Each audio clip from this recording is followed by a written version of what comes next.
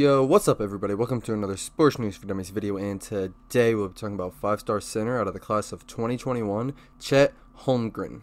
Now, Chet is 7 foot, 190 pounds from Minneapolis, Minnesota, and currently attends Minnehaha Academy. Now, Chet is the number one recruit nationally, the number one center in the class of 2021, and the number one recruit coming out of the state of Minnesota.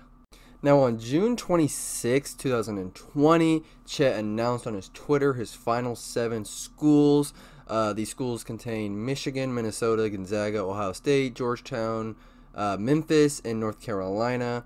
On 247 Sports, uh, their crystal ball prediction has him going to Gonzaga. They have it as a 100% lock. Um, we'll just have to wait and see, but for right now, Uh, 247 Sports analysts and predictors have him going to Gonzaga. So this is what Brandon Jenkins, a recruiting analyst, said about Chet. He projected him as a first round top 10 NBA draft pick in the future. His NBA comparison is Anthony Davis. He said Holmgren is as unique as a prospect as there has ever been in the national recruiting database era. Standing 7 feet tall with phenomenal length, Holmgren is the best shot blocker in the country and is the best shot blocker I have seen in high school basketball. He additionally is one of the most versatile players in the senior class, and while he fits the stat sheet in multiple categories, he's extremely productive. His upside is still immense. He impacts the game in so many areas and plays with a huge chip on his shoulder. Even though his defense is ahead of his offense, he has elite ball skills on the perimeter as he can handle and shoot the basketball like a combo guard. Holmgren has the potential to be a generational talent with his unreal long-term tools. Eight months in a college weight training program will serve him well. His upside is clearly in his body as he needs to add weight and get stronger. Now, this is what another national recruiting analyst said about Chet. He said he's an extremely unique player who is unlike almost any American prospect in recent years. Good size, long arms, plus athleticism, but very narrow frame.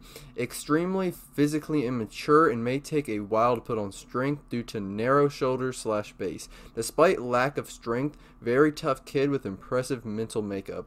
Has range to perimeter with jumper, good body control, and high feel outstanding rim protector and rebounder, level 10 motor, hard to be overly critical outside of lack of strength and narrow frame, projected as a lottery pick.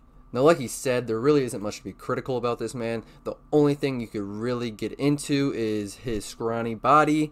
Um, but again, coming from a skinny person myself, I really don't see a huge issue with this. I mean, I guess he's a post player, but he is able to go out and shoot uh, outside shots and handle the ball. So he doesn't really need a huge frame, and Kevin Durant is a great example. Not comparing the two, but I'm just saying a skinny frame isn't always the worst thing. Now with that, we've come to the end of the video. Let me know your thoughts on Chet down below. Also, let me know where you think he will be ending up at the end of this whole recruiting thing. Uh, thank you guys for all the support lately. Don't forget to like, comment, and subscribe, and I'm out. Peace.